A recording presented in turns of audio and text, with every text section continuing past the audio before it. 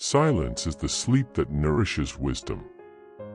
Begin doing what you want to do now. We are not living in eternity. We have only this moment, sparkling like a star in our hand and melting like a snowflake. A prudent question is one half of wisdom. A wise man will make more opportunities than he finds. Write down the thoughts of the moment.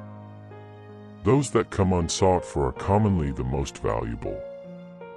The job of the artist is always to deepen the mystery. The root of all superstition is that men observe when a thing hits, but not when it misses. Some books should be tasted, some devoured, but only a few should be chewed and digested thoroughly.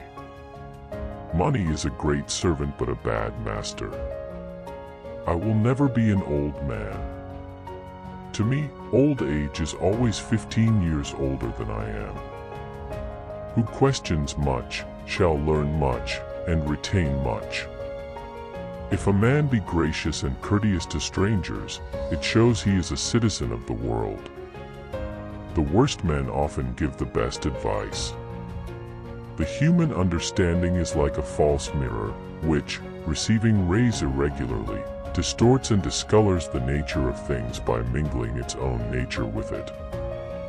The desire of power in excess caused the angels to fall, the desire of knowledge in excess caused man to fall, but in charity there is no excess, neither can angel nor man come in danger by it.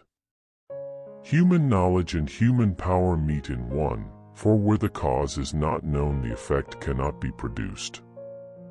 Nature to be commanded must be obeyed, and that which in contemplation is as the cause is in operation as the rule.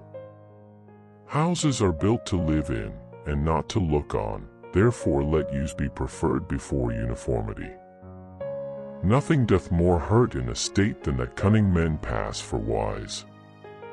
It is a strange desire to seek power and to lose liberty, or to seek power over others and to lose power over a man's self.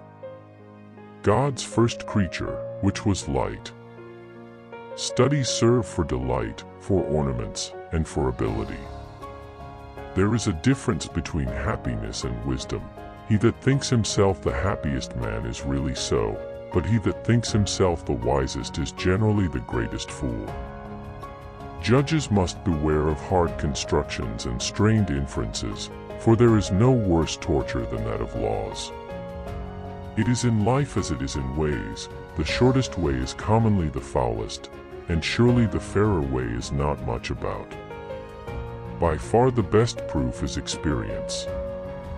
Good fame is like fire, when you have kindled you may easily preserve it, but if you extinguish it, you will not easily kindle it again. Man prefers to believe what he prefers to be true. Seek ye first the good things of the mind, and the rest will either be supplied or its loss will not be felt. Hope is a good breakfast, but it is a bad supper. The subtlety of nature is greater many times over than the subtlety of the senses and understanding.